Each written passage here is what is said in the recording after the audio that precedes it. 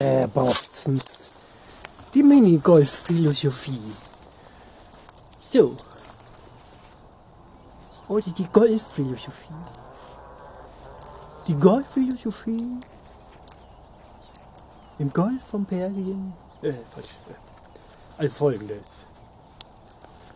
Da ist das Golfloch, wo man den Golfball reinschieben. Da ist die Golfspieler mit die Schläger und die Ball. Nun, der Idealfall ist, er schlägt mit einem Schlag den Ball ins Loch hinein. Hurra! Er freut sich. Das Spiel wäre total langweilig, wenn jeder mit einem Schlag ins Loch treffen würde. Nein, weil immer die Bedingungen sind anders. Mal was anderes gegessen, mal andere Wind, mal andere Sonnenschein, mal andere Gefühl, mal andere Gedanken. Und so weiter. Und dann schlägt er. Und Ball trifft nicht, nicht genau in die Loch. Gibt es viele, viele Möglichkeiten. So so viele Schläge, bis das einer ewig probiert ins Loch zu treffen und nie trifft. Und dann, wie es bei so einem Spiel ist, geht es natürlich den Bescheuerten, den Dummen, geht es immer ums Gewinnen. Die Dummen wollen immer gewinnen, damit sie sich besser fühlen als die, von denen sie sich getrennt fühlen. Sie spüren unbewusst den Trennungsschmerz und wollen sich besser fühlen. Dadurch, dass sie glauben, sie hätten gewonnen. Die Verlierer, die ärgern sich natürlich, dass sie nicht so gut sind. Und sie sind traurig. Und was ich merke, das Ganze ist nur eine Vorstellung hier im Nichts, in dem sich nur eine Vorstellung mit der anderen Part nee, ablöst. Eine Vorstellung jagt die nächste. Und die Golfphilosophie ist totaler Schrott. Völliger Scheiß. Nun, naja, ging es um nichts, würde keiner verlieren oder gewinnen. Wie es auch so ist. Gewinnt keiner, verliert keiner.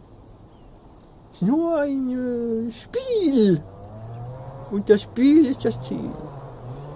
Nein, was ich meine ist, dann wäre es ja der Totalgenuss, einfach nur zu spielen, ohne ein Ziel zu haben. Ja, das wäre schön. Oder auch nicht. Wer weiß das schon. Einfach nur genießen, ohne irgendwo hinkommen zu wollen. Weder ans Ziel noch zum Gewinnen. Das kann keiner, weil jeder will ja einen Vorteil haben. Wobei sich jeder Vorteil als Nachteil entpuppt, weil es ja einen braucht, der den Vorteil haben kann. Und der, der den Vorteil haben muss, um zu überleben, ist schon in sich selber ein absoluter Nachteil. Weil er ist der Träger der Sorgen, dass er nicht einen Vorteil haben könnte. Also, ist er zu viel? Für wen? Für niemanden. Es darf wohl alles sein. Sorgen, Probleme, der Glauben daran, die größte Religion der Welt ist doch die, zu glauben, der Besitzer zu sein. Von was auch immer. Vom kleinsten oder dem größten. Und als Besitzer bist du ein Leidender, weil du bist ja der Besitzer von Freude und Leid. Und somit ist es überhaupt kein Problem, weil du bist nur eine Vorstellung deiner selbst. Dich gibt es gar nicht als Besitzer, sondern nur die Erfahrung davon. Aber wie gesagt, keine Erfahrung verändert dich. Weil der, der durch die Erfahrung verändert wird, der ist selbst schon eine Erfahrung. Also kann die Erfahrung äh, des Besitztums auftauchen. als Spiel. Aber sie macht nichts außer Schmerzen. Und loswerden kann sie auch keiner, weil der, der sie loswerden will, will ja wieder einen Vorteil davon haben. Nichts zu besitzen. Also, was machen wir da? Wir machen gar nichts, weil es uns nicht als Kollektiv gibt. Denn wenn es uns als Kollektiv geben würde, gäbe es uns ja auch als individuelles Besitzerchen. Aber beides ist eine Vorstellung in Raum und Zeit, so wie Raum und Zeit auch eine Vorstellung ist. So verweilt nichts vor der Vorstellung, weil es hat keine Idee davon und keine Vorstellung, was es ist und was es nicht ist.